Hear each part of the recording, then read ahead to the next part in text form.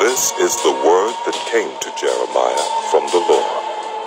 This is what the Lord, the God of Israel, says. Write in the book all the words I have spoken to you.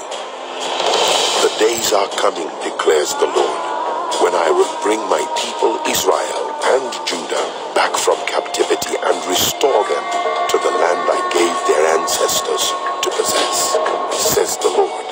These are the words the Lord spoke concerning Israel and Judah. This is what the Lord says. Cries of fear are heard. Terror, peace.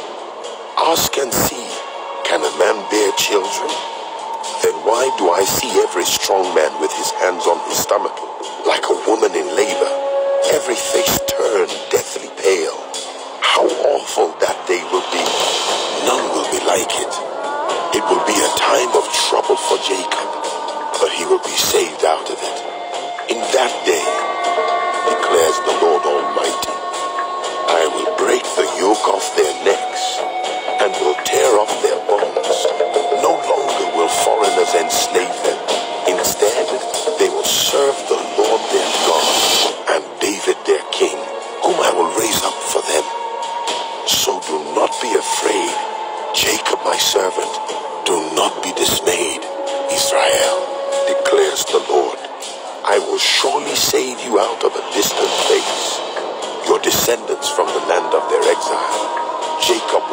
have peace and security, and no one will make him afraid.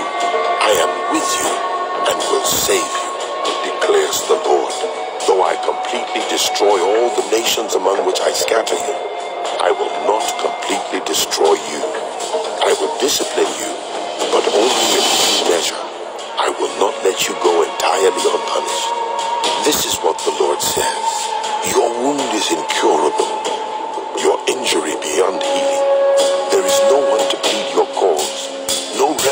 your soul, no healing for you. All your allies have forgotten you. They care nothing for you. I have struck you as an enemy would, and punished you as would the cruel, because your guilt is so great and your sins so many. Why do you cry out over your wound, your pain that has no cure? Because of your great guilt and many sins, I have done these things to you. But all who devour you will be devoured. All your enemies will go into exile. Those who plunder you will be plundered. All who make spoil of you, I will despoil. But I will restore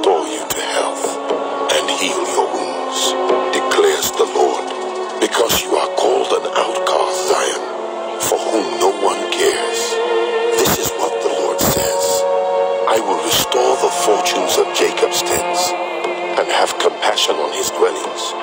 The city will be rebuilt on her ruins, and the palace will stand in its proper place. From them will come songs of thanksgiving and the sound of rejoicing. I will add to their numbers, and they will not be decreased. I will bring them honor, and they will not be disdained.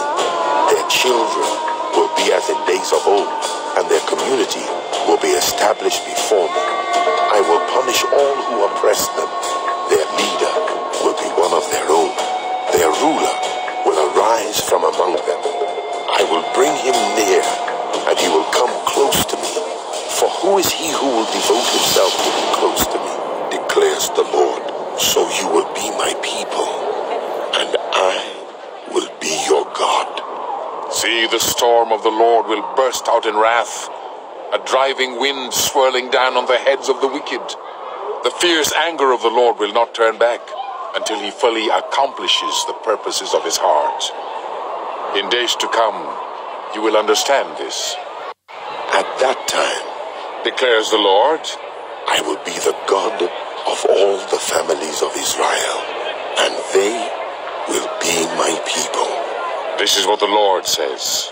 The people who survive the sword will find favor in the wilderness. I will come to give rest to Israel.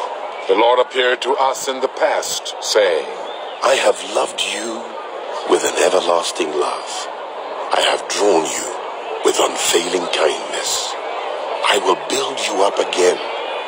And you, Virgin Israel, will be rebuilt. Again you will take up your timbrels and go out to dance with the joyful. Again you will plant vineyards on the hills of Samaria. The farmers will plant them and enjoy their fruit. There will be a day when watchmen cry out on the hills of Ephraim. Come, let us go up to Zion, to the Lord our God. This is what the Lord says. Sing with joy for Jacob. Shout for the foremost of the nations. Make your praises heard and say, Lord, save your people, the remnant of Israel. See, I will bring them from the land of the north and gather them from the ends of the earth. Among them will be the blind and the lame, expectant mothers and women in labor. A great throng will return. They will come with weeping. They will pray as I bring them back. I will lead them beside streams of water on a level path where they will not stumble, because I am Israel's father, and Ephraim is my firstborn son. Hear the word of the Lord, you nations. Proclaim it in distant coastlands. He who scattered Israel will gather them and will watch over his flock like a shepherd. For the Lord will deliver Jacob and redeem them from the hand of those stronger than they. They will come and shout for joy on the heights of Zion. They will rejoice in the bounty of the Lord, the grain, the new wine, and the olive oil, the young of the flocks and herds. They will be like a well-watered garden, and they will sorrow no more. Then young women will dance and be glad, young men and old as well. I will turn their mourning into gladness. I will give them comfort and joy instead of sorrow.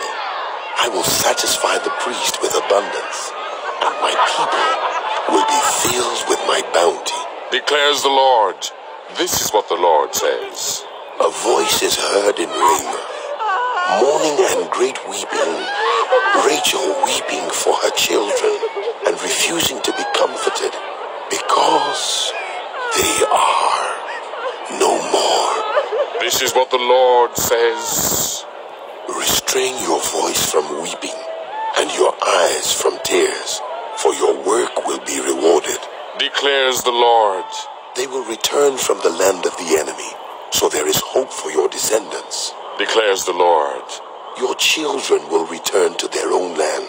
I have surely heard Ephraim's moaning. You disciplined me like an unruly calf, and I have been disciplined. Restore me, and I will return, because you are the Lord my God. After I strayed, I repented. After I came to understand, I beat my breast. I was ashamed and humiliated because I bore the disgrace of my youth. Is not Ephraim my dear son, the child in whom I delight? Though I often speak against him,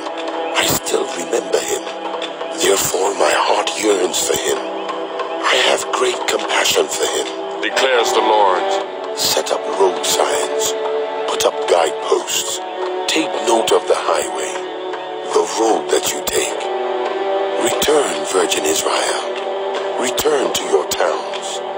How long will you wander, unfaithful daughter Israel?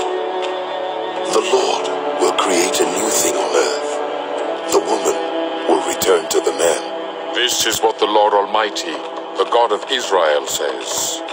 When I bring them back from captivity, the people in the land of Judah and in its towns will once again use these words. The Lord bless you, you prosperous city, you sacred mountain. People will live together in Judah and all its towns. Farmers and those who move about with their flocks. I will refresh the weary and satisfy the faint. At this I awoke and looked around. My sleep had been pleasant to me, The days are coming declares the Lord. when I will plant the house of Israel and the house of Judah with the offspring of people and of animals. Just as I watched over them to uproot and tear down, and to overthrow, destroy and bring disaster, so I will watch over them and to plant, declares the Lord. In those days, people will no longer say, The parents have eaten sour grapes, and the children's teeth are set on edge. Instead, everyone will die for their own sin. Whoever eats sour grapes, their own teeth will be set on edge. The days are coming declares the Lord, when I will make a new covenant with the house of Israel and with the house of Judah.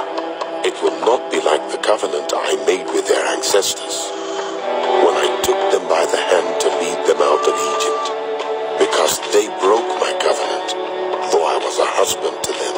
declares the Lord. This is the covenant I will make with the house of Israel. After that time, declares the Lord, I will put my law in their minds and write it on their hearts. I will be their God, they will be my people.